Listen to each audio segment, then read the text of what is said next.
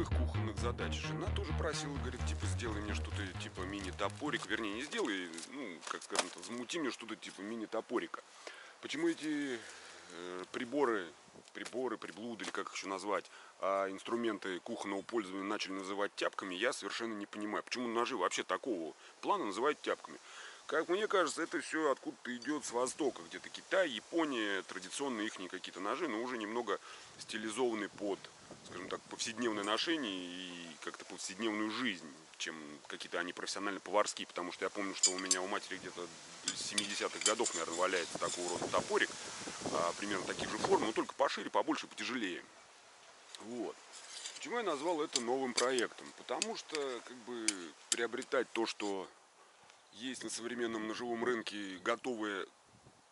Как-то я не, подош... не дошел до этого.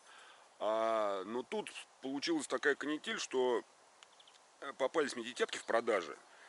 Ссылочка на человека, кто торгует э, ножедельными материалами, то есть у него бланки, заготовки там для рукояти, пины, ну, короче, вообще все для того, чтобы сделать ножи. Сам он ножи, я не знаю, как бы делает под заказ или нет, я не уточнял вам это лучше у него поинтересоваться.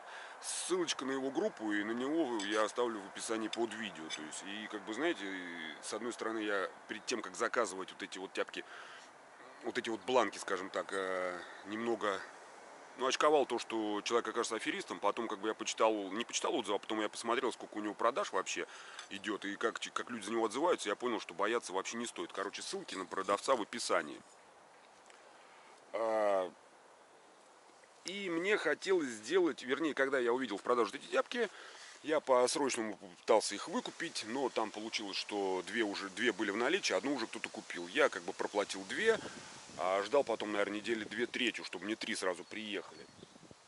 Вот. И мне хотелось сделать это, как бы, грубо говоря, э, в той интерпретации, которая мне нужна. То есть у меня был на тот момент кусок старого советского текстолита, и я надыбал еще дельта древесину. К сожалению, снять я не снял эти дельта древесины с куском советского текстолита, но вы это увидите уже на готов, в готовом варианте. То есть